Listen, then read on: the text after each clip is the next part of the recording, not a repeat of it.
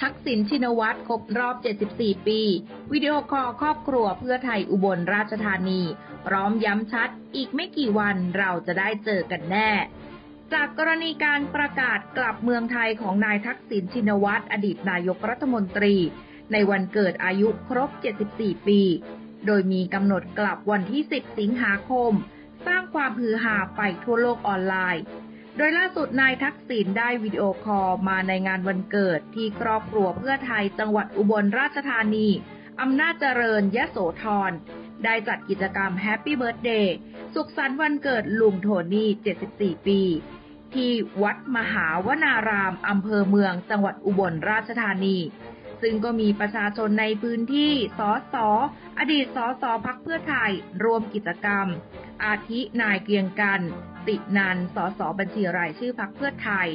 นายสมคิดเชื้อคง อดีตสสอุบลราชธานีพรรคเพื่อไทย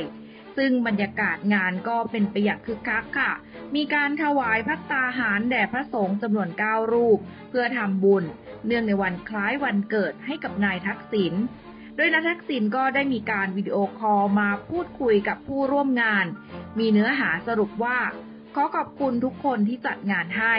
ขอให้ทุกคนโชคดี และเราจะได้พบกันอย่างใกล้ชิด เมื่อผมกลับประเทศไทย ซึ่งคงอีกไม่กี่วันก็จะได้กลับ ความจริงอยากกลับเร็วที่สุด แต่บังเอิญติดวันหยุดหลายวันนั่นเอง